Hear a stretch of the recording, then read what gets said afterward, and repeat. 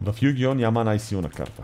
Няма такова нещо като най-силна карта. Може би ако трябва да кажа коя е най-силната карта в Yu-Gi-Oh, сигурно е Graceful Charity. Може би най-силната карта правена някой в Yu-Gi-Oh е Graceful Charity. Но ако не играете Yu-Gi-Oh е много трудно да разберете защо. Винаги съм смятал, че Грейс е най-силната карта. Pot of Greed не Graceful Charity е по-добра. Да, Graceful Charity е Draw 3 Discard 2. Плюс 0, Graceful Charity е плюс 0. Обаче не мога да кажа, че някакъв стейпъл е лайк най-силната карта, нали се сещаш. Примерно Heavy Storm. Heavy Storm също е бонкърс карта.